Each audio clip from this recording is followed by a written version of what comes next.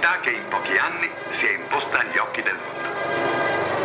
A Washington ha sede il Dipartimento federale di giustizia. Il suo fulcro è costituito dall'Ufficio investigativo federale. Gli agenti speciali dell'FBI sono i famosi G-Men, che si sono distinti per la loro integrità e la loro efficienza. Negli Stati Uniti ogni 18 secondi viene commesso un delitto. Più di 6 hanno la loro scheda personale. In un solo anno l'FBI ha esaminato e risolto più di 67.000 casi. E l'archivio segnaletico con 120 milioni di schede soddisfa quotidianamente migliaia di richieste provenienti dai vari comandi locali di polizia. Un individuo può venire identificato in meno di tre minuti. Le impronte digitali costituiscono il metodo di identificazione più sicuro. Esse non possono venire modificate in nessun modo. Rimangono immutate in un uomo dalla sua nascita alla sua morte. Una semplice impronta può decidere della libertà di un individuo, a volte della sua vita. Per questo qualcuno potrebbe rischiare il tutto per tutto per riuscire ad accedere agli archivi dell'FBI, agendo sul personale addetto, che non è costituito da agenti speciali, ma da comuni impiegati ai quali è affidata la custodia degli archivi stessi. Questa storia ebbe inizio quando la Commissione investigativa Senato decise di spostare il suo campo d'azione nello stato di Washington.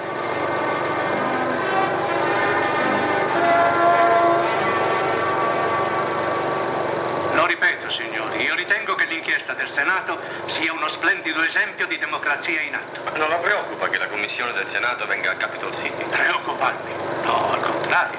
Ne sono lieto, io penso che sia necessario.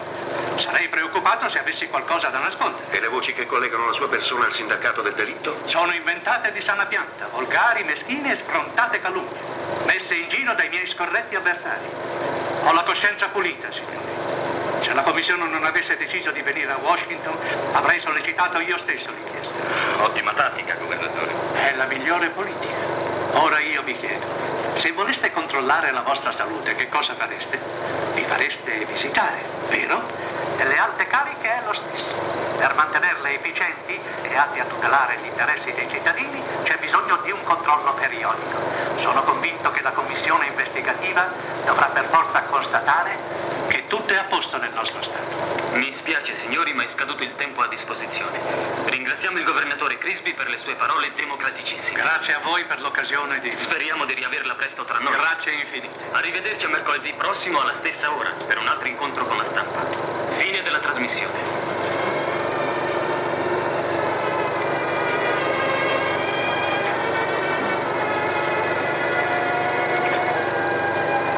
Salve, Blake.